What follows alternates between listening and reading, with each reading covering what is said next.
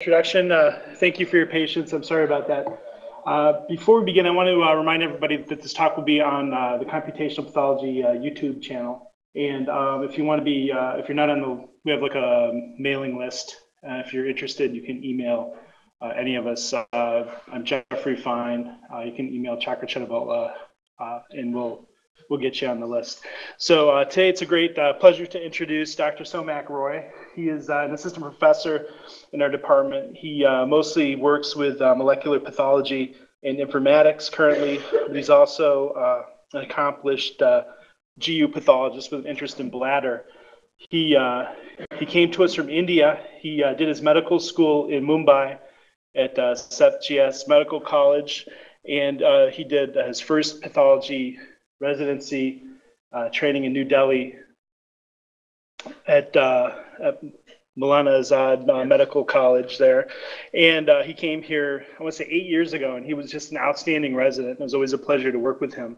And after doing his residency here, he stayed here and did two fellowships. One in, inform- uh, one in uh, he didn't do an informatics fellowship, but he did informatics throughout his time here. He did a molecular pathology fellowship, and he did a um, GU pathology fellowship. And he's currently the uh, fellowship director for molecular pathology, and I thought that was uh, that's a very good accomplishment to be running the fellowship program that you graduated from only three years previous. I thought that was really neat. And Dr. Roy is very academically active. He's written at least uh, he has 41 peer-reviewed publications. He's nationally active in the Ameri- in the uh, Association for uh, Molecular Pathology (AMP), and uh, and he's he's uh, just a great individual, and I'm very happy to introduce him here today. Thank you. Well, thank you, Jeff, for that uh, kind introduction, and this, uh, that's, uh, that's a lot.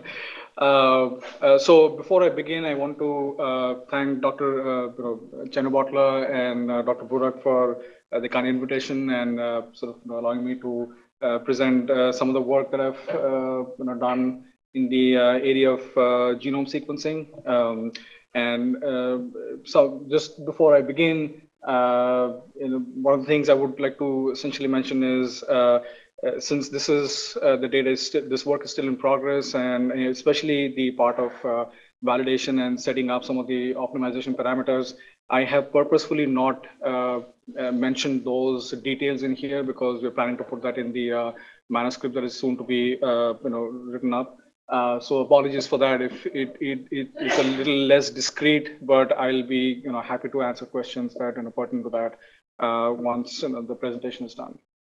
Okay, so with that, um, I have really you know, nothing to disclose here uh, in terms of conflicts of interest. Uh, so the talk essentially is going to go over uh, a, a, a, you know the, the, overview of high throughput sequencing data in general, you know how how such kind of data is produced, and then I'm going to essentially delve into uh, my experience of uh, developing whole exome sequencing bioinformatics pipeline.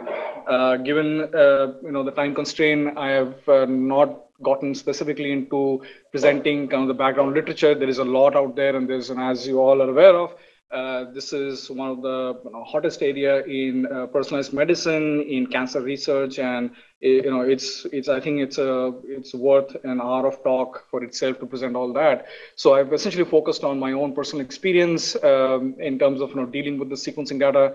And but again, as through Q and A, if you have any questions, you know we can certainly get into you know specific details.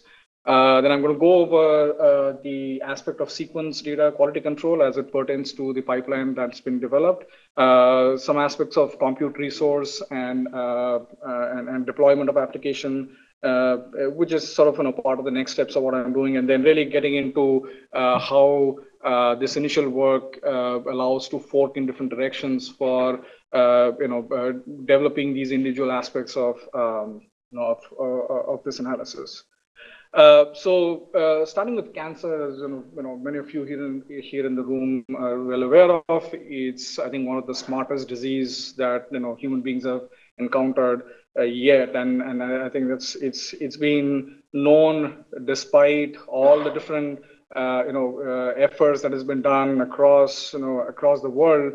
Uh, it, it has been outsmarting us and, and we've been and constantly learning about you know uh, the underlying biology but and as we know it's you know, if, if you talk about cancer, cancer essentially is an evolution, you know, if you, if you talk of biologic evolution, And if you cramp it into a small amount of time, from millions of years to a few years, that essentially what cancer does. And so it's and, and really uh, what that leads to is this very complex environment within and around the tumor that uh, you know that really helps uh, you know uh, cancers of you know different types to propagate, to grow, to metastasize, you know, to essentially spread out uh, whenever they have that chance. And so, uh, how's that possible? And really, you know, what what the underlying thing, and you know, it's sort of like the you know the common knowledge now is cancer really is a genetic disease, and and and and what what we have learned so far, and and and as you know, as the uh, the field of medicine progresses forward, uh, the field of genetic progresses forward, it's it's very clear in terms of you know how a cell essentially becomes independent and just you know uh, uh grows and creates some havoc.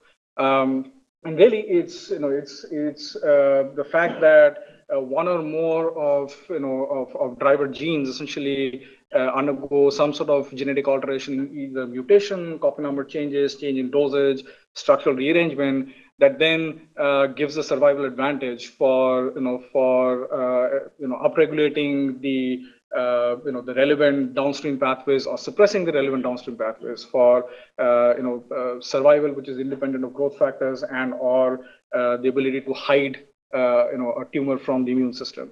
And so, so that really what, you know, what that is. And so if we understand that cancer is a genetic disease, then really what you want to look for is the underlying genetic alterations. And, you know, uh, the really where you know most studies start off is with you know starting off with the central dogma that's you know you start from uh, the dna sequence and then you start to look at okay what is the uh, result of the you know the initial um, transcription process that is giving you uh, you know either a coding or a non-coding mrna and then uh, what are the different regulatory mechanisms that affect that and then subsequently the translation process and the various post-translation modification that then makes the protein as to you know, what it should be, or in a case of uh, you know of a cancer, an abnormal protein. Uh, so with with the exception of protein sequence, if you look at uh, the level of you know RNAs, whether they're coding or non-coding, we look at you know DNA, uh, looking at either the exons, the introns, you know the the untranslated regions, you know overall uh, you know the regulatory regions as we have been learning forward, uh, it really uh, lends itself to uh, these different sequencing techniques that you know that have been developed to to very thoroughly analyze that. And and so, you know I'll discuss in the next slides too some of these um, you know some of these sequencing capabilities really help you know look at the DNA or look at portions of the DNA or look at the RNA uh, or you know different uh, aspects of it from from different perspective and ask more than one question. Actually ask several questions which which is really what you know we've seen in the past uh, you know uh, five or six years that there's been an explosion of data uh, you know in, in terms of uh, genetics and cancer and so uh, some of the common approaches that uh, you know many investigators, including some of the large uh, consortiums such as TCGA, have taken into approach is to start looking at the alterations that are happening at the DNA level. And, and one of the approaches here is uh, whole exome sequencing, which essentially uh, what you're looking at is all the exons and all the uh, annotated genes in the the human reference assembly uh, that one wants to sequence and look at you know how that is different from the expected reference sequence.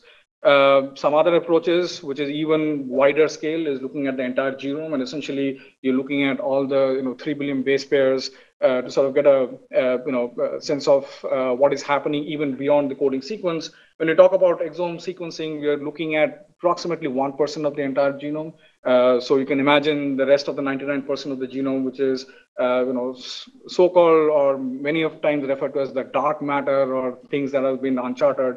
Uh, I think I think those are the you know the the, the areas to look at for cancer. Uh, but again, uh, there are different approaches that you know are, are taken in terms of research. Uh, if we scale down in terms of what we want to look at, uh, you know, people have look, looked at a subset of alterations in the DNA sequence, and that including, you know, targeted sequence, which are not necessarily the entire exome.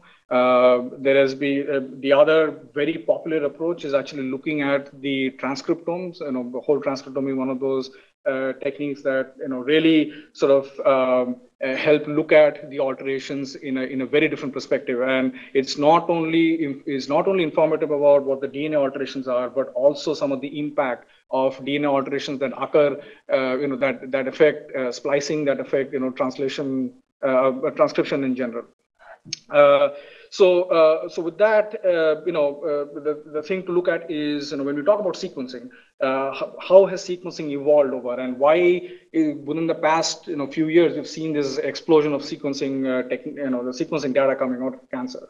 Uh, and and it all began with you know conventional Sanger sequencing. And here I don't have the gel images, which you know many of you, at least I haven't seen, but many of you in your you know career have seen, is where you know the, the the concept was using uh, a dye terminator based uh, sequencing approach where you know all different uh, fragments of uh, DNA sequence depending on where you would end one of these uh, you know ddNTPs getting incorporated and then looking through a sequence of uh, how those Uh, uh, you know uh, short sequences come out through you know either capillary electrophoresis or previously using some sort of um, you know radioactive dyes to infer what the you know what the sequence is. But you know the limitation there was although you know it has been incredible because uh, this convention sanger sequencing was our first revolution of the entire human genome. And so if you if you recollect from the you know the the uh, uh, the outcomes of the human genome project which took 13 years to to assemble the entire human genome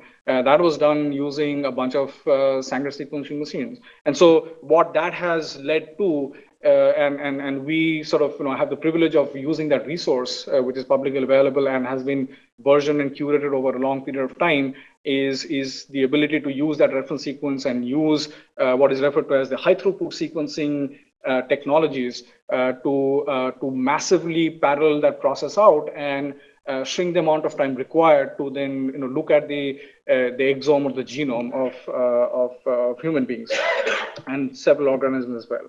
And really the power of high throughput sequencing comes from the fact that it not only it is massively parallel, but also the aspect of uh, uh, dynamic data capture and preservation uh, is also massively parallel. And so that renders not only the fact that you can look at a sequence and have a qualitative assessment of what you know the sequence alterations are, but there is also an aspect of quantitation in terms of uh, you know, the number of reads that are redundantly uh, confirming or refuting uh, evidence at a site or a loci in the genome.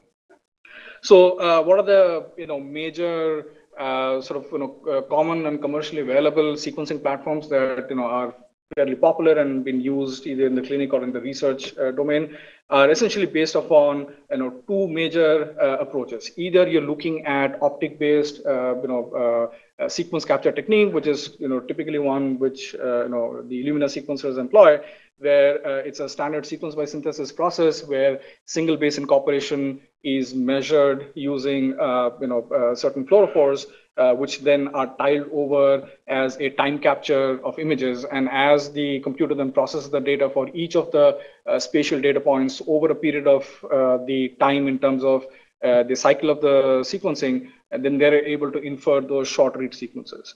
On the other hand, uh, semiconductor-based sequencing is uh, another very popular sequencing technique where they employ the fact that uh, incorporation or base uh, nucleotide incorporation uh, step actually uh, releases two moieties. There is a pyrophosphate, there two phosphate moieties that are released, and there is a hydrogen that is released as part of that, uh, you know, uh, esterification reaction. And so, what the semiconductor-based sequencing employ is they use these sort of small microwells or micro pH meter like things where within the well uh, it monitors for the change in the uh, uh, hydrogen ion concentration, which is essentially what most pH meters do. And based on the amount of uh, uh, hydrogen ion released there and the change in the uh, quanta of the hydrogen ions, the semiconductor base at the bottom is then able to convert that into electrical impulse. And as that has been done over a period of time, the sequence from each of the well is then inferred as you know short range sequences. So then we come to the aspect of uh, whole exome sequencing bioinformatics pipeline design considerations. Given the fact that we now have this sort of you know, brief understanding about you know, the scope of measurements, you know, how the data is actually measured in terms of either a semiconductor or a uh, optical-based approach, uh, uh, what, what, should be the design considerations when uh, talking about building a pipeline? And here I give the example of whole exome sequencing because that's sort of what I've done uh, as kind of the first step. But uh, this is something which is universal for uh, you know any kind of uh, data analysis pipeline design that one would uh, you know envision uh, to process sequencing data. And so the first thing to start with is well, what is my starting material?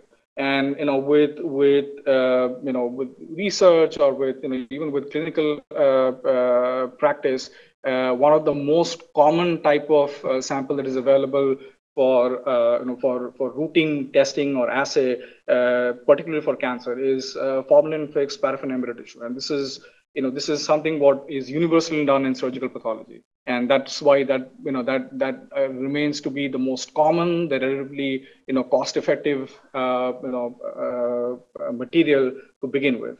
Uh, although with the limitations that you know uh, uh, some of which really you know, affect the quality of the DNA.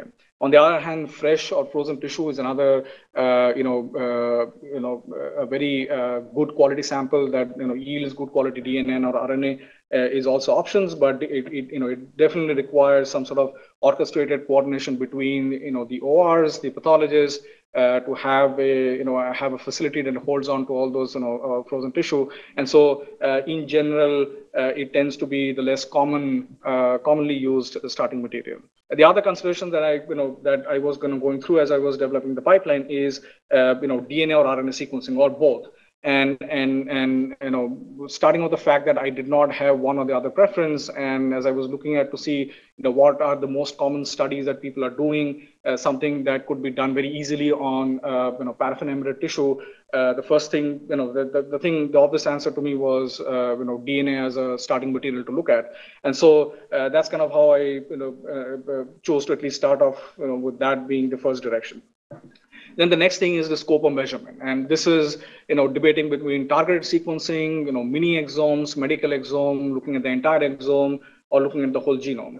And, and again, there are, uh, you know, there are uh, questions to ask before you start to, you know, develop a pipeline that would, you know, that would be tackling that data. And a couple of the things that I look back into the literature looking as to see, you know, what is the most commonly used modality uh, for at least, you know, in terms of an investigation purpose to look at cancer. And if you can see here from uh, the, the figure on the top left, uh, you know, uh, it essentially shows from, I believe, from 2012 to 2013, um, uh, you know, a study that looked at the, you know, the frequency of different investigation studies that were done and what kind of modality was used. And here, as you can see, whole exome sequencing kind of, you know, uh, peaks up, uh, you know, in, in, terms of the usage. Uh, similarly, you know, many of you are aware of, uh, you know, this uh, massive effort by TCGA to sequence, you know, a large uh, variety of, you know, different tumor types, and you know, of the different modalities that they've used. Whole exome sequencing kind of remains sort of the most commonly used modality, you know, for which uh, you know the large the largest number of you know cancer sample data is available uh, at least publicly for you know for use so that's why, uh, you know, at least the, uh, the one of the things I decided was, okay, it seems like this is the most commonly used technology. So I think that should be something to be the first thing to be, you know, uh, focusing on. And really the other thing that comes is essentially, you know, uh, the computational requirement. How much compute you know, power do you need to you know to handle the kind of data that you're generating. And this is not only compute power that has to do with just pure data analysis but also the sequencing instrument capacity that is able to give that amount of high throughput. So uh, you know you are able to get a reasonable amount of coverage for the you know targeted region of interest. And so here again uh, based on you know uh, you know the lab I collaborate with, which I'm going to you know uh, shortly sort of get into the details of, uh, you know it and and you know the resource that was available for me uh, to be to to you know to uh, handle the sequence data uh, it, it seemed like whole exome sequencing was probably the best you know starting point and so from that, the next set of questions to ask was what kind of sequencing platform and what kind of capture kit would I use, you know, in, in, to, to, to do the whole exome sequencing. And so here, uh, this is where, you know, uh, I, I, you know, I started the collaboration with Dr. Uh, William uh, LaFramboise. He, he's, uh, he directs the genomic facility for the uh, cancer biomarker part of, of, of, the sequencing process. And then, and, and has been, you know, a really good collaborator for the past couple years in terms of being able to do the sequencing, you know, in his lab. And so uh, whole exome sequencing essentially, you know, was something that you know he also was uh, you know gaining more experience with as and he was, as he was collaborating with you know many of his um, uh, uh teams. One of the things that you know we uh, looked at was the different uh, capture you know kits that were available. you know, we looked at you know we actually generated whole exome sequencing data from you know from Agilent SureSelect version six, which covers about 60 MB of uh, words of sequence and you know, has more than 20,000 annotated genes covered within its you know, region of interest. We also compared to the Illumina TrueSight uh, exome kit that has a little less coverage than that, but uh, also sort of you know uh, try that out to see how the uh, profiles were in terms of you know the regions that were covered, the depth of coverage, how uniform was that, and and if there are areas where it really yielded you know higher coverage than not. And so based on that initial sort of you know uh, walkthrough of the of, of the data, it, it sounded like you know it, it to us Agilent uh, Agilent SureSelect was kind of the you know way to go. So that's what we uh, proceeded with. Um, uh, in his lab, um, initially he had a solid sequencer, and I think you know more recently he got a Illumina NextSeq 500, which is you know uh, has the reasonable amount of uh, uh, throughput to be able to do you know a good number of whole exome sequences. Um, you know we kind of targeted about 70 to 80x of coverage for you know each sample that we would sequence and and and so we uh, decided to uh, you know go up with the paired-end sequencing, which is kind of ideally the way you should be doing for whole exome sequencing, with you know starting with a 75 base pair times two you know uh, paired-end sequencing uh, module. Uh, with about 260 million reads of throughput, uh, it, it was you know it was a, a fairly good balance between cost per sample you know for research versus you know the amount of throughput in terms of co average coverage per exome that I would get. Uh, in terms of starting material, uh, you know, paraffin uh, FFP tissue essentially was you know, what I had in plenty for the bladder cancer samples that I was interested in. Uh, and you know, and I also had some reference material that I wanted to kind of run through and uh, to uh, to make sure that you know the, the, the sequencing quality, you know, the data analysis was robust. And so I started off with FFP tissue and extracted DNA from some of these you know, commercially available vendors. Um, uh, the minimal DNA requirement for this setup was about 200 nanograms, which uh, in our experience, about 10 unstained slides, if they're cut at 10 microns uh, uh, per block, that's sufficient to get to that point, unless you have a very small tissue within that block, or for some reason, uh, the you know, proportion of viable tumor cells are very low. But usually that you know, works out fairly well. Um, in terms of tumor normal pair versus tumor only strategy, initially I began with the fact that I would be able to, you know, I would restrict myself to doing tumor and normal paired, which is still something that I prefer. Uh, but uh, as I developed the pipeline, I was able to accommodate for scenarios where a paired normal tissue was not available. Uh, in terms of minimum proportion of viable tumor cells in the specimen, uh, there is you know, there is published data about you know uh, things people talk about from 30% 50%. Some people have gone down to as low as 20%. Uh, uh, for the fact that I was also interested in uh, you know getting copy number analysis for the you know for the samples that I've worked on so far. I've tried to keep it to about you know at least 50 to 60% of proportion of viable tumor cells. Uh, so, in, you know, just a sort of a quick cap in terms of the hybrid capture process. I mean, this is a standard, you know, SureSelect uh, target enrichment process. I'm using the version six of it, and essentially these are, uh, you know, after the genomic DNA is sort of, you know, uh, uh, fragmented uh, which I think is using Covaris and uh, you know uh, uh Dr. LaFramboise's lab. Uh, it then is you know incubated with the the RNA baits that are specific for those you know regions of the exome that we want to pick up. following that, they're then you know mixed with these streptavidin coated magnetic beads uh, which following hybridization then are able to be easily extracted out and then washed up with the buffer and then yielding the you know DNA sequence of interest uh, you know that that we get. And uh, as we have done with FFP samples so far, it seems to be a fairly reasonable uh, you know uh, uh, fragment size distribution of you know these DNA molecules as we go through this process, and I'll show you some of the data how that looks like. Uh, this is just again another standard library prep uh, process, uh, you know, following that, uh, following the hybrid capture. And essentially, uh, what is done is after the fact that you know the, the DNA sequence of interest are captured, it then goes through a cycle of PCR amplifications to include the indexing primers. And then they are pulled in together if you're using barcode, which you typically use to, to multiplex, you know, more than one sample, and then, you know, to get the enriched library. How a library construct looks like once the library process is done in this, you know, in, in, in this setup is um, the, the middle portion of, you know, that book sequence is the insert DNA sequence of interest that then flanked by the sequencing binding primers uh, followed by the barcode indices that uh, you know uh, uh that would be identifying the uh, sample um, uh, ID for that particular for that particular sequence fragment, and then followed by the oligobinding sites, which essentially help adhere these sequence to the flow cell. the paired-end sequencing and data capture essentially is a fairly standard Illumina process where you know many of you are aware of uh, where it goes through a process of uh, bridge amplification to uh, you know create the polony clusters, and then followed by uh, a standard um, uh, non-di-terminator uh, sequence by synthesis reaction, where individual bases, as they get incorporated, you know, on the flow cell clusters, are then you know recorded, and then you know the, the sequence is inferred from that optical data. So uh, in terms of design considerations, after you know uh, making up my mind in terms of sequencing platform and the capture kit available, uh, the next thing was the computation. So once you have the data, uh, what do I need to understand in terms of you know the, the data itself? Uh, how do I you know manage the infrastructure at least locally what I have to begin with? Uh, you know what kind of sequence data quality control I need to keep in mind to make sure that the you know the data that I'm analyzing is indeed robust or identify you know areas of improvement and then uh, the aspects of data management and collaboration. So this is sort of a very high level simplified uh, overview of you know what uh, data analysis for any kind of NGS data looks like. And essentially it starts off with the fact where you know uh, the DNA sequence, uh, uh, follow the DNA sequence reaction that you have, uh, you know, raw data acquisition it goes through a process of signal processing and then base calling, which is where the you know the the the, the popular FASTQ files or the unaligned BAM files are generated.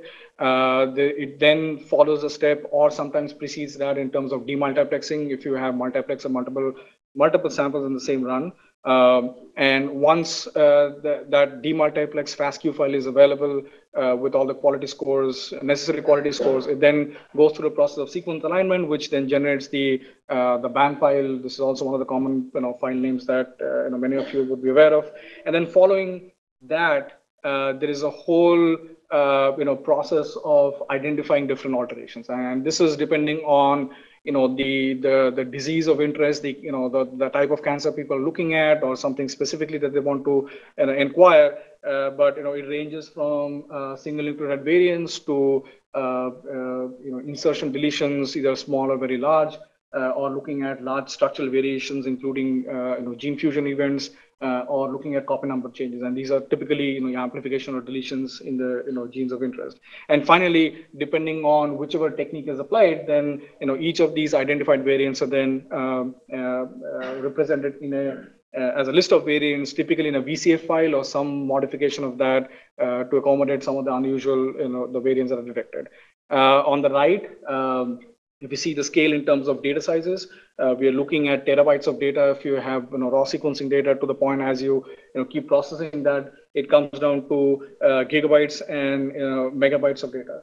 The reason I have it purposefully here is because this is what the common notion is as you go from the more raw data to the to the you know to the towards get a getting list of variants that uh, the data size reduces. As a matter of fact, the things to be considered is once you get to the point that you have, you know, the VCF file to begin with, there's a lot of post-processing that goes in to annotate those files, to associate different databases uh, for cross-references, which actually at the end of the day increases, uh, you know, the, the net file size that you, you know, need to maintain and, you know, move around. So that's something to keep in mind as you're designing your pipeline.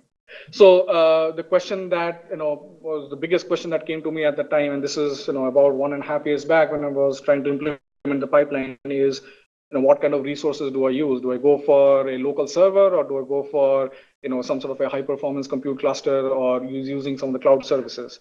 Um, at that time, uh, you know, based on the IRB that I had, it you know kind of did not explicitly state using uh, cloud services. And the second is at that time, UPMC was you know, uh, a little more apprehensive in terms of the, you know, uh, the, the response I got back saying, no, not at this time. You should, you know, keep the data locally and then figure out, we'll talk about this later on.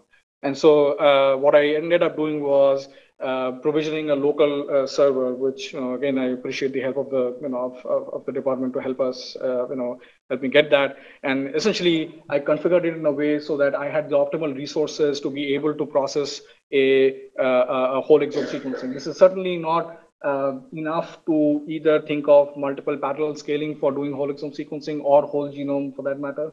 Uh, but uh, you know, uh, essentially what I did was end up with having uh, you know, two parallel Intel Core processors with about 20 cores each. Each core had about uh, you know they, each core has two threads, data threads that you can actually push the data through using you know maximum utilization of the associated memory blocks. And so that really ended up uh, giving me about 40, you know, 40 cores worth of, uh, you know, uh, power that I can run through if I want to parallelize to that. Uh, uh, the, the RAM installed on that was around 288 gigs, and this is appropriate to about the level of parallelization that I've developed with the whole exome sequencing.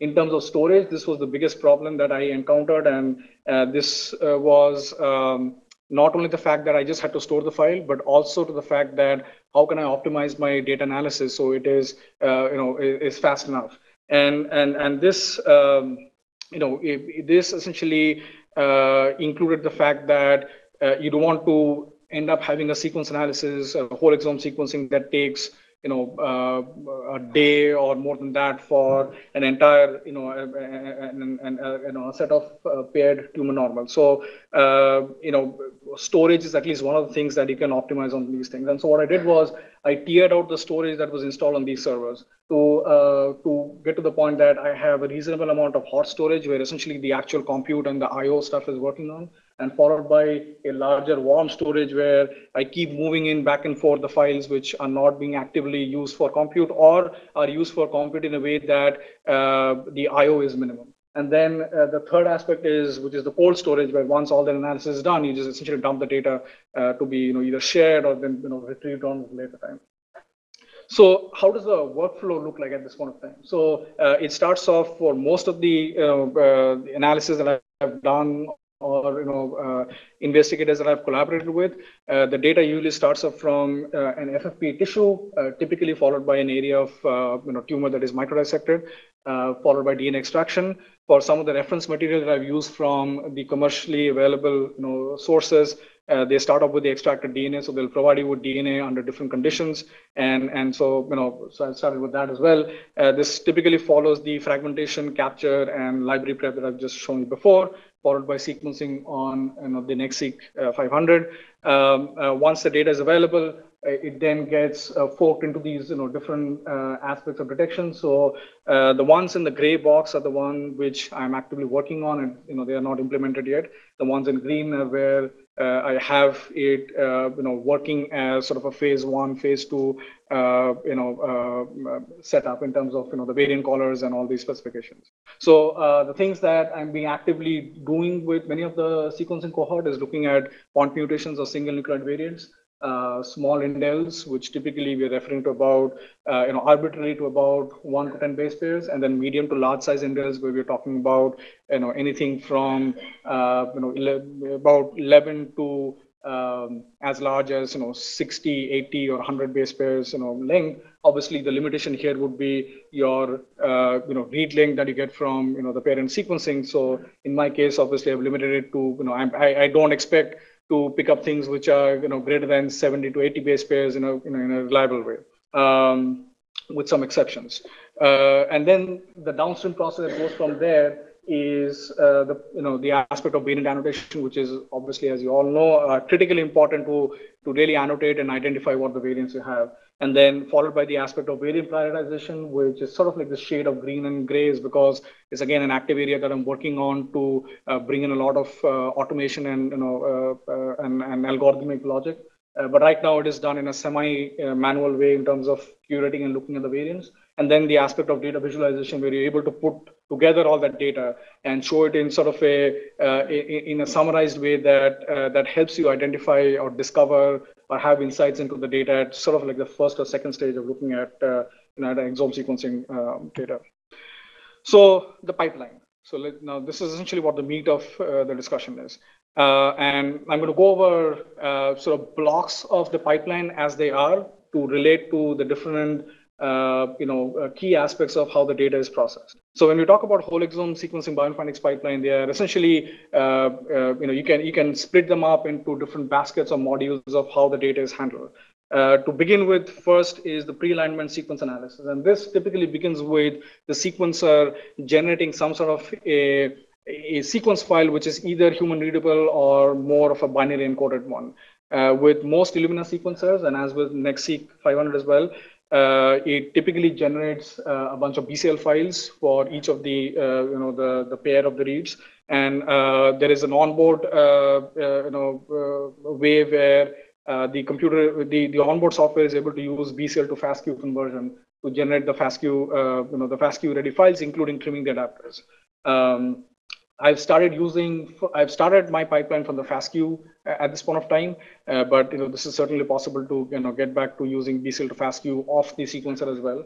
Uh, but it's just more for convenience and for data transfer uh, aspects that uh, you know we chose to use uh, FASTQ files uh, you know as as kind of the starting for, point for the pipeline. And then once those FASTQ files are generated, each of these are per lane FASTQ files again split by the the pair reads which are then concatenated into lane-specific FASTQ files. Uh, these then undergo uh, the uh, trimming of the low-quality bases, and this is uh, this is particularly important to decrease the noise, uh, you know, in, in, terms of the um, uh, you know the, the, the sequence quality that comes up, and this is particularly so when the coverage of sequencing at a region is not very high, and this is typically what you see with you know whole exome sequencing. Uh, so I made sure that uh, at least the low quality bases at the very end of the reads, you know, if there are any, would either be trimmed away or if there are too many, then essentially discard the read from there. And once these trimmed FASTQ files again for each of the pairs are ready, then it undergoes QC using FastQC to kind of profile how the read looks like and how the quality distribution metrics are. Uh, the second step is the sequence alignment. So once the sequences are ready, uh, the alignment process then goes over the fact that uh, you know you have to use some sort of a uh, you know alignment algorithm to do uh, to essentially match out the sequence that you got from the sample to the you know the human reference genome. And so in this case, uh, I chose to use BWA. There are you know several other aligners available out there in terms of uh, you know use for whole exome sequencing. I did try using you know Novo aligner as one of the options. Uh, although you know it's it's paid, it does perform uh, in some aspects you know a little better than uh, BWA. Um, you know, but you know, using four or five different uh, aligners, BWA turned out to be sort of the best in terms of how you know the kind of data I was getting. And so uh, once the alignment is done, uh, you know, it essentially generates a raw sample, which typically, in my case, the way I have set it up is as an intermediate file. Uh, I then have SAMtools encoded into a binary alignment file, which is typically the common file you want to use for, uh, you know, further processing.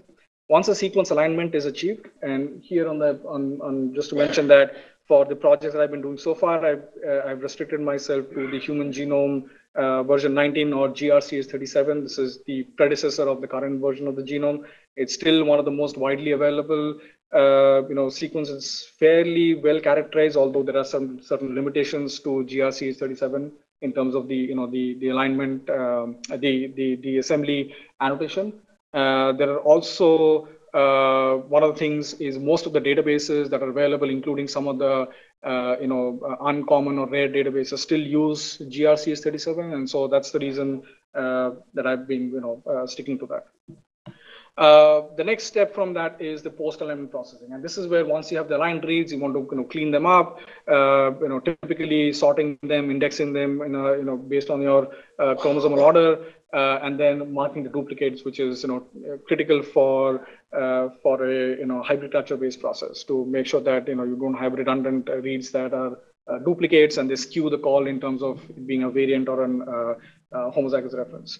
Uh, once that process is done, then goes through the next step set of steps, which is the pre-variant calling processing, and this is where uh, one of the important steps uh, that uh, that I found was fairly helpful uh, was to be able to do local realignments to improve the indel detection. And this is uh, this is different from the alignment that I mentioned before, which is more of a global alignment approach, where you essentially take your short read sequence, align it across the entire genome, and get the best match to see where you know they fall in.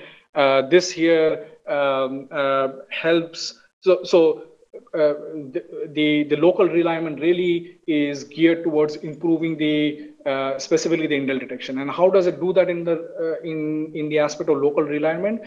Is uh, I have to specify you know the GATK indel realigner to use a certain set of uh, you know uh, of, of whitelisted indels that I want to essentially look for specifically and rescue. And here I provide that using these different VCF files from uh, Cosmic, DBSNP, and the Mills indel, which then essentially specifically realigns those regions uh, to, to improve the sequence quality there and for the variant caller to be able to pick up. Uh, many variant callers, including the one that GATK provides, uh, actually has indel realignment built in. So this is an option step for that. Uh, however, the aligner that I used, at least uh, the variant caller that I used, at least one of them, which is VARSCAN, uh, does not have that built in. And so this particular step and you know added to improving the quality. The next step from that is using is is is once you have the realigned BAM files, we need to then do another step of QC to see uh, not only sequence quality, but also the aspects of alignment and, and how well it, uh, you know, it, it, it, mapped out or there, or there are areas of concern that I need to uh, be aware of. Uh, and the next step is then to identify the variations. And we are talking of, uh, you know, here looking at, uh, you know, changes in the DNA sequence.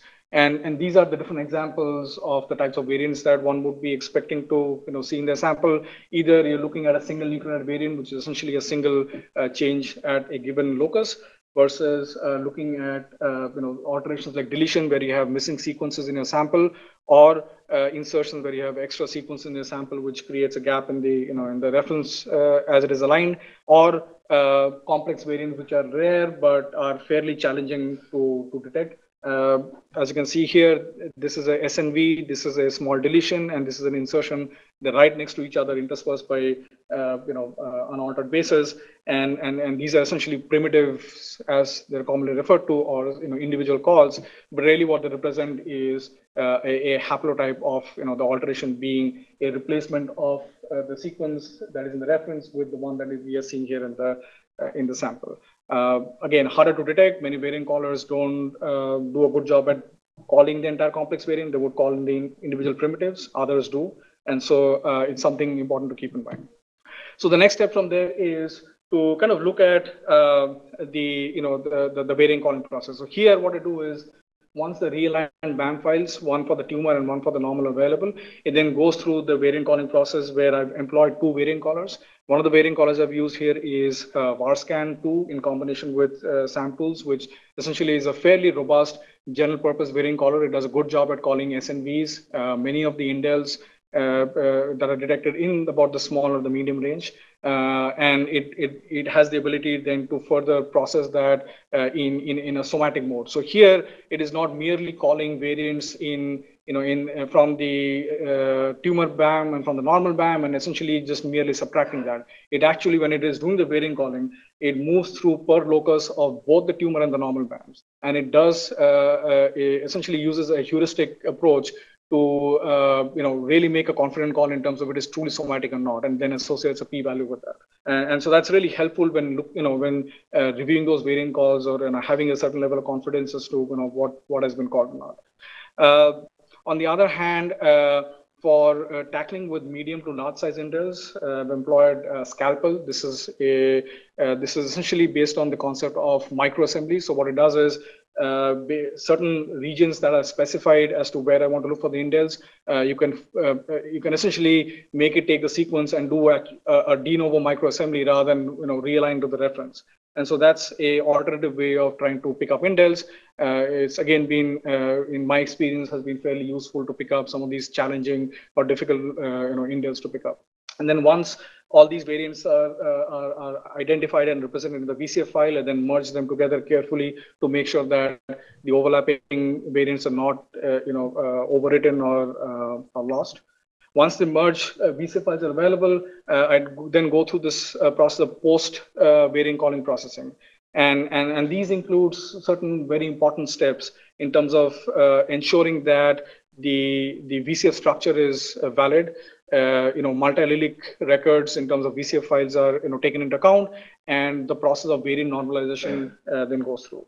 And so what really that means is uh, using an example here uh, on the top, if you see this is a typical representation in a VCF file in terms of, you know, how a variant is represented. On the very top left, you will see uh, this is the chromosome contig in which this variant has been detected. This is the genomic position where this, uh, you know, uh, where this expected variant is seen. Uh, this is the reference allele T here. This is the alternate allele C, and then you have a bunch of different uh, additional um, uh, metadata to support, you know, the, the different aspects of the variant call. This is a typical uh, typical representation of a variant. Uh, on the other hand, if you look at a multi-allelic record, and what that what happens is, and this is truly what the variant call is trying to do, is to represent all the possible alterations it's seeing at a locus. And, and this is good and bad in a way where uh, you know, one needs to be aware that there are certain VCF records that are actually you know, encoded like this. And really what the, you know, what the encoding process here is the reference uh, allele remains the same. However, the the different alternative alleles that have been identified are represented here as, in this case, one, two and three different representations of what is alternate as deletions or insertion separated by commas. So most alignment or most uh, VCF processing softwares are really not aware of it unless you specifically write the scripts, which I did in my case. Uh, but uh, this is something that one needs to make sure that these are broken down into primitives before uh, or broken down into individual VCF records before you go to start to look at the annotations. Because something like this, if you ever end up trying to annotate and look at it, it will end up being one of the ones which are flagged as unknown or poor quality or not having a gene name. And typically we try to ignore them and say like, okay, the second round I'll go and look at it. So you want to make sure that something valuable like this, potentially valuable like this is not lost. And in this case, these are represented as deletions or duplications in the same locus, which can actually occur, you know, uh, in, in uh, as, as true variants. Uh, the process of variant normalization here again is a very critical concept, and this is to the fact that when we talk about a normalized variant uh, in the genomic context, it has to be uh, uh, left aligned, as you see in the bottom example, and parsimonious. When we refer to parsimony, what that means bioinformatically is you're looking at the least possible nucleotides you can use to represent that variant. And this is something that many annotation softwares actually you know, uh, uh, use in a way where it improves the quality of annotations that you get from that. So there are ways, you know, there are softwares that are available to do that, but it's something important that should be part of the pipeline as you design that. So this is how the rest of the pipeline looks like. Once the merge VCF file is available, I have a custom script and I use VT as one of the softwares then uh, do the normalization process. Followed by that, I use ANNOVAR to annotate these uh, VCF files. Uh, subsequent to that, there's a custom script that actually goes over and cleans up some of the um, uh, the ANNOVAR annotations and then uses HGVS to formally put in the C.P. Uh, annotations against the transcript. And then it is uh, uh then essentially a optimized multi-sample VCF file is generated, which is then uh, uh, put forward for prioritization and visualization. these are the different annotation databases I've been using so far. Uh, you know, it's it's again, as I said, this is a bulk of uh, the data that you know that sits on you know either your server or a disk, and it's something to keep in mind that as you talk about VCF files, which are merely small, uh, the different annotation uh, databases that you will use uh, end up you know requiring a lot of resource to make sense of that VCF file.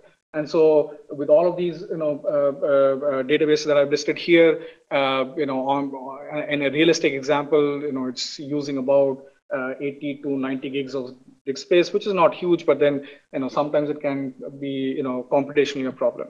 Um, some are you know uh, so one of the things uh, with this population frequency database, which I think you know people who know uh, we we love this because it really helps prioritizing many of your variants down to a manageable list. And so in this case, uh, you know one of the popular ones is the ExAC uh, consortium data. This is essentially a conglomerate of 60,000 individuals who were either whole genome or whole exome.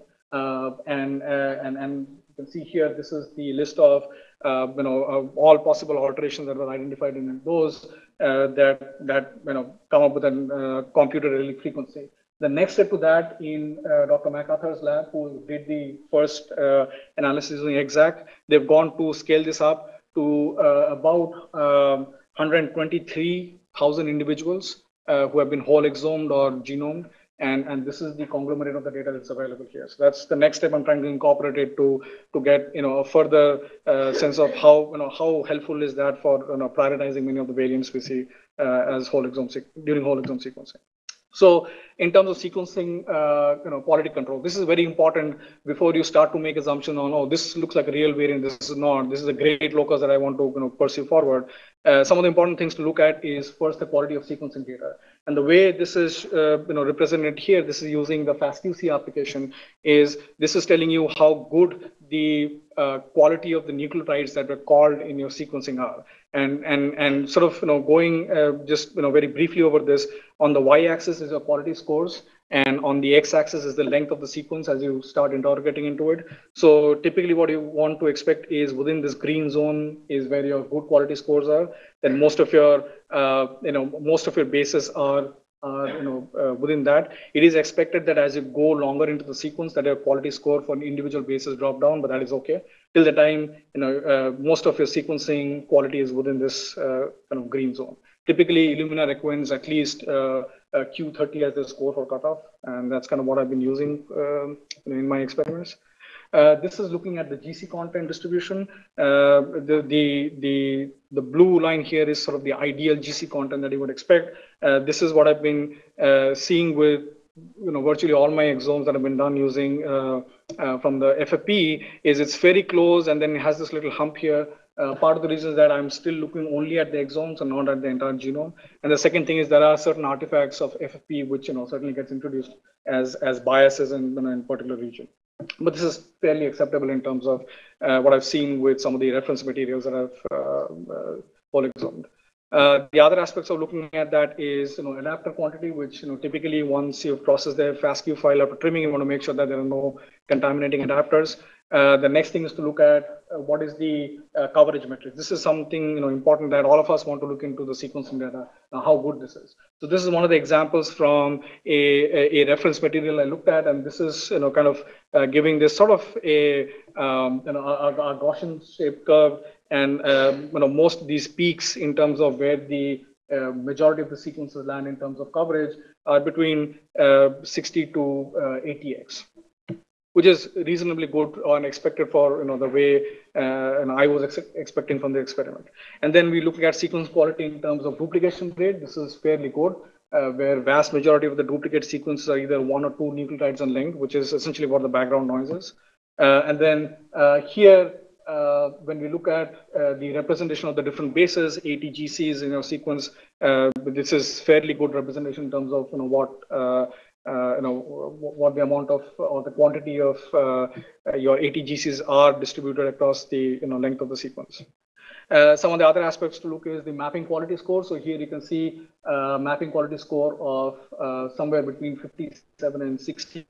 This is fairly high quality score. And as you can see here, majority of the sequences here you know, have a very high quality in terms of mapping. there are obviously certain unmapped regions that you would get uh, which you know is not necessarily a bad thing to happen. Um, and this is the insert size. So this is something I was talking about before, where you know you're, when you try to challenge to see how long indels you can pick up, one of the things to look at is what is the distribution of the indels insert size that you get for your DNA sequence. And typically with about a 75 base pair, uh, you know, uh, times two sort of a you know paired-end sequencing mode, uh, I've gotten to about 125 to 150 base pair worth of you know length of sequence, which kind of predominate the uh, the, the bulk of the sequences. So there is still a tail that goes down that have you know larger sequence insert reads, which you know does help in certain cases to pick up uh, you know to pick up larger indels. Um, uh, cohort. So what what has gone through this pipeline so far? Uh, you know, so far I've uh, sequenced uh, the the reference sample NA12878 this is one of the standard reference sample that pretty much every, you know, uh, I think everybody uses. Uh, this is, uh, you know, well characterized by the GIAB group, the genome in a bottle group from NIST. Uh, I've also sequenced three Ashkenazi trio uh, samples, the son, dad, and mom, which are again germline, you know, reference material provided by GIAB. I've used two reference material controls, again, well characterized provided by this company Horizon DX. Uh, these are kind of the two, you know, um, the code names for that. And uh, it is actually good because uh, they provide D, uh, extracted DNA which uh, have undergone the FFP, you know, treatment process. And so you can simulate how your, you know, how, how that would look like as compared to your actual FFP samples. And then through that, it's, you know, I've had sequenced about 10 urethral carcinomas, pairs, so far 11 bladder adenocarcinomas, about uh, you know uh, approximately 30 pancreatic neuroendocrine tumors in collaboration with Dr. Aatur Singhi, uh, 13 mesotheliomas again in collaboration with Dr. Aatur Singhi, and then additional urothelial and pancreatic samples are sort of scheduled for sequencing. So uh, about you know 50 or 60 of the exomes, mostly most of them being impaired, uh, you know in terms of analysis. A very preliminary data in terms of you know how the prioritization looks like. So when I start off with looking at the total variant calls uh, per tumor, there are about 60,000 calls from a typical exome run uh, of uh, 70 to 80x coverage. Uh, when when I prioritize to look at only the somatic calls that the variant caller says, that comes down to about three and a half thousand. And then after the different prioritization processes that I have, including you know the different annotation steps, it boils down to about 300 variants. And this is an example for bladder tumors. Obviously, that number would vary depending on your sequencing a bladder tumor versus a thyroid versus a pancreatic neuroendocrine tumors, depending on what their underlying biology is. In terms of variant confirmation strategies, since uh, you know, it's, it's, still validating that, uh, you know, whenever possible, you know, review of the sequence pileup is kind of the best friend, followed by Sanger sequencing uh, or using IHC or FISH uh, for confirmation. I also have certain samples that I've run in the MGP laboratory as either part of a clinical uh, process or a research uh, sample through the clinical pipeline. So that's helpful in confirming those, you know, in, in those cases. And then using the high confidence uh, variant sets that are provided by these reference material uh, providers. The typical runtimes that I've seen so far with uh, the primary and secondary data analysis is going from FASTQ to VCF. For a tumor normal pair, it's about four to five hours. And I'm trying to, you know, uh, optimize that to get the time down. For tumor only, it takes about two to three hours. Uh, one of the things that I've been developing as part of you know visualizing the exome data, uh, there've been like you know a couple of these things that uh, you know I've uh, one of you know, one of a very smart resident here in our you know in our program helped me actually you know uh, work with him and build this up. So one of them is this uh, JS Comeo plot. This is a JavaScript library that we developed, and you know we have the source code posted in GitHub uh, that essentially uh, uh, allows you to integrate that, you know, integrate that JavaScript app in any you know, web application, and then you can put in essentially your exome data in terms of the variants, you know, the gene names, and the type of variation that you're seeing, and it automatically plots out that map for you uh, what what we have done forward is to actually allow a lot of interaction here. And I'm and unfortunately I don't have uh, the interface ready up here, but it allows you not only to kind of you know, look at what the data looks like or use it for your publications. It also allows you to hover over and see what the annotations are. It uh, it it allows you to move around uh, variations, switch samples, and see how it looks like. Uh, it's you know it's uh, designed in a way that you can use a desktop, you can use touchscreen devices on your mobile phones to kind of you know, play around with the data. The other thing that you have uh, developed, uh, this is called JS Protein Mapper. This is also a JavaScript module, and I have an example of here of it here. Um, um, let's see if it opens up. Okay, I don't know if it is optimized for this. Well, let's see. So uh, what this does is, uh, if you have, if you are looking at specific variants that are of interest and want to see how that compares with different databases.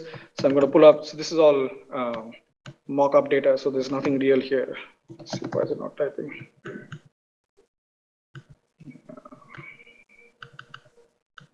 Something froze.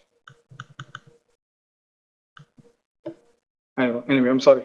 I'm not able to pull that up here. But anyway, what what what that what that uh, helps doing is once you have the data integrated uh, you know, uh, you know, once you have the exome data available and you're looking for certain variations to see, you know, how where in the protein domain of the of you know of a particular gene it maps, how it aligns to, you know, the say the Cosmic database or the dbSNP database. Uh, you know, you you're able to uh, you know pull that information out based on uh, you know what variations you're looking at.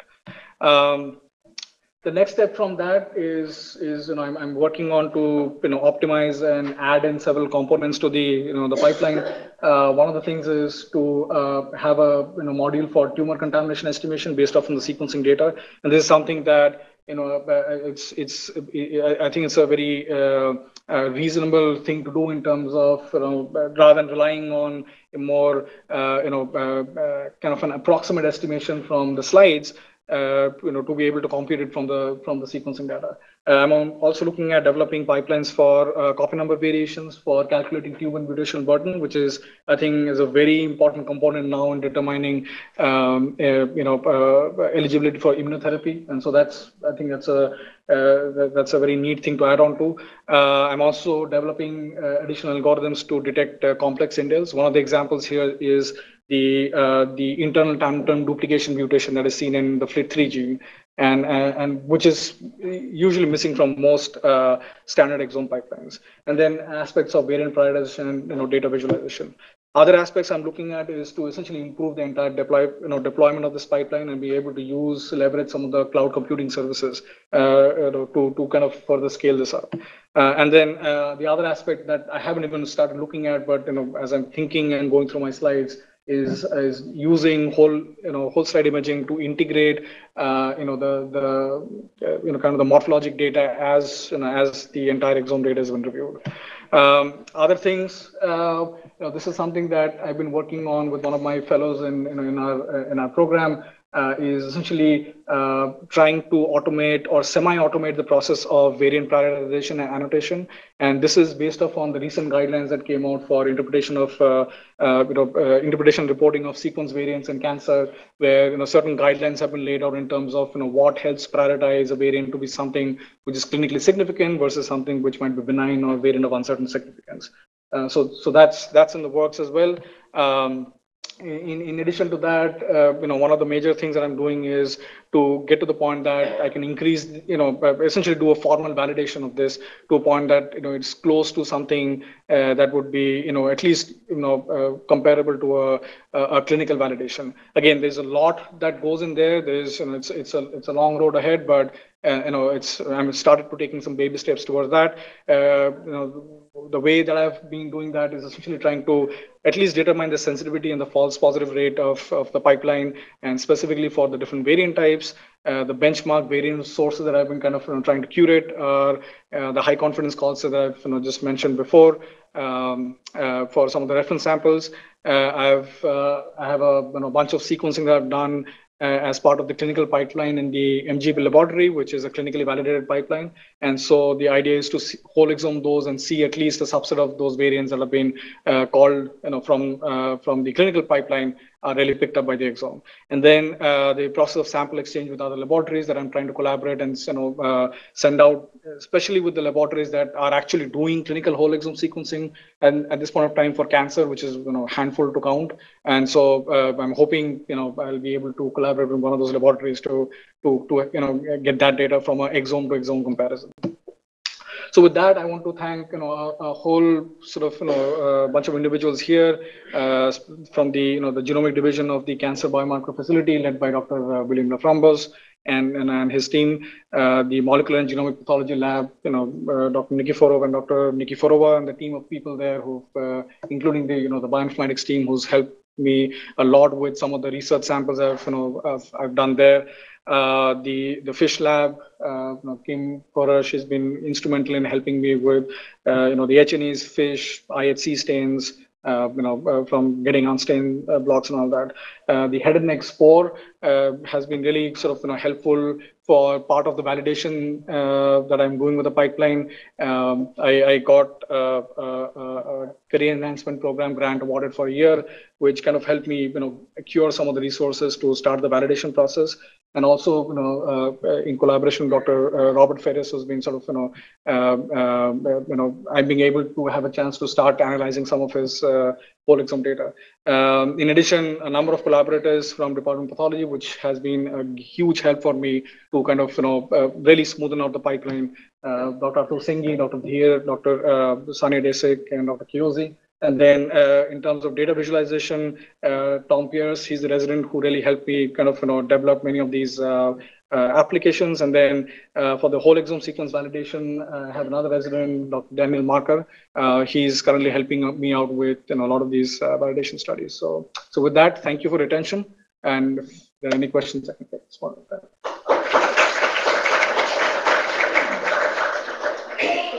Yes. Uh, can you comment a little bit on the allele frequency, the cutoff for the platform that you and the cutoff for the culture? Yes. And what would you define as a driver? What kind of frequency? Sure. So allele frequency is one of the things with uh, whole exome sequencing is you need to be mindful of what your target coverage is for the regions that you're you know are interested in clinically or at least you know from a research standpoint uh, with with the exome uh, sequencing lab uh, with these i've hit about 70 to 80x at regions it goes beyond 100x in terms of coverage uh, so it really depends on where I'm looking at and what is the coverage that I get for that region or the bin. Uh, I I've typically set to about 10% uh, variant allele fraction below which you know the confidence really goes down. And and this is also in correlation with the quality control markers that you know where, where i've seen something which is low uh, frequency. Is really hard to either validate or match up with the quality controls that the variant caller calls up with. Um, they are real or not you know they might be real but uh, with the depth that i have it's hard to you know uh, establish that certain regions in the exome really go up to 400x coverage and so there I've sometimes considered anything which is about eight or nine percent VAF to you know to to do that. In terms of determining driver by VAF, um, um, if you're lucky enough to see a PIK3CA, BRAF, you know RAS mutation, about you know uh, 12%, 15%, you know, 30% allelic frequency, um, yes, then you have sort of a ballpark as to where your VAF cluster would be for the drivers, and then you can sort of stagger out, you know, clonal, subclonal, potentially clonal, subclonal population. Although with this low depth, it is hard to do that. Uh, tumor suppressors more so, although they're not really drivers, but sometimes they seem to be like one of the early events. Uh, I've seen typically them between uh, anywhere between 10% to 30%. Uh, depending on again you know the depth and usually you know uh, uh, the one collaborator I worked with they used IHC to sort of look for loss of that particular protein expression.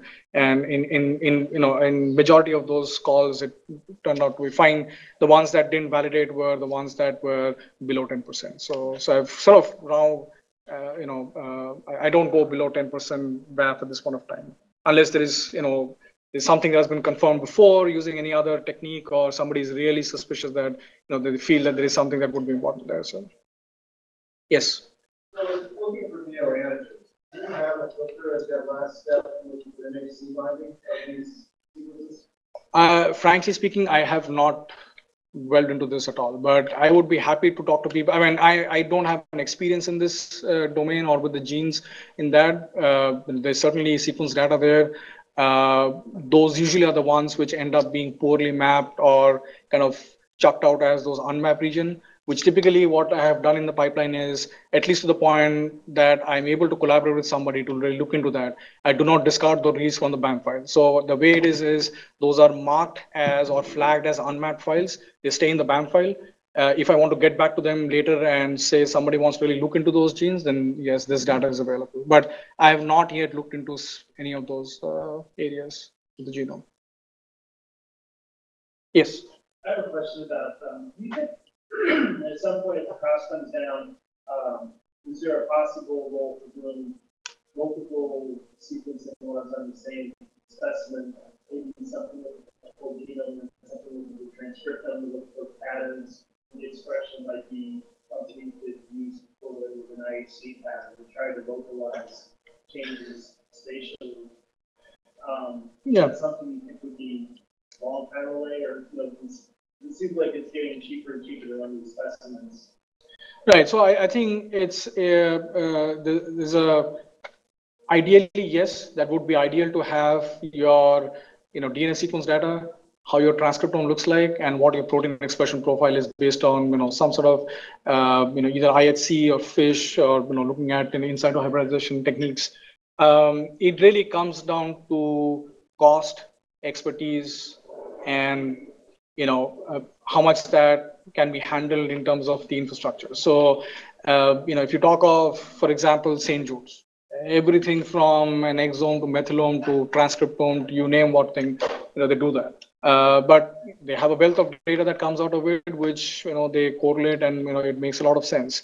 Um, but those are massive scale endeavors that you, you know, there's, it's, it's a lot of sequencing capacity. It's a lot of, uh, you know, bioinformatics capability. It's a different scale of operation in terms of deploying those pipelines to be able to handle that in a, in a reasonably, in a reasonable turnaround time. Um, the other way to look at that is to, to scale down to look at very specific regions that are of clinical interest. And so one of the things that we, you know, that we do in our uh, clinical lab is uh, with you know with uh, some of the assays that are done with NGS, where uh, for example in the you know in the um, thyroid or the brain panel, we have a component that looks into DNA mutation, and we have a component that looks into uh, very specific genes in terms of expression or gene fusion. And so sometimes that helps in terms of, for example, the classic example I usually give is with BRAF. So there is, if there is a BRAF mutation, usually what we see, you know, in papillary thyroid carcinomas at least, is uh, the MET expression goes up very high. And that's been a very consistent finding. It makes biologic sense in terms of the pathway that, you know, BRAF sort of, you know, uh, drives or upregulates.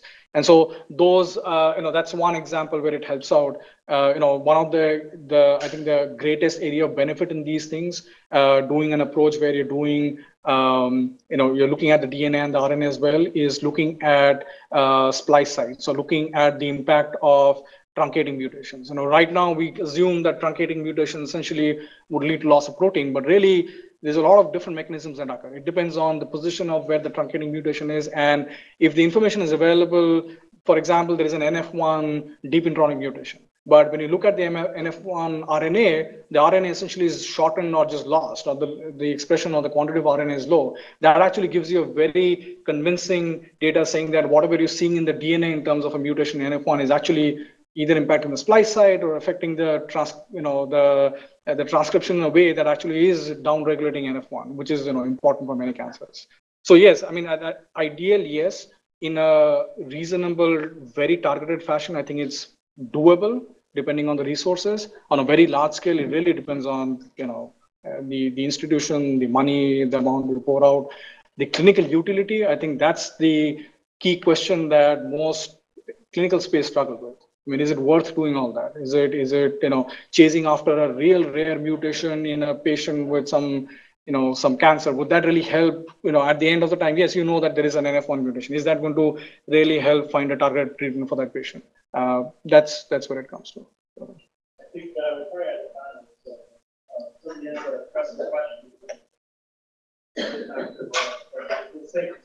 a question.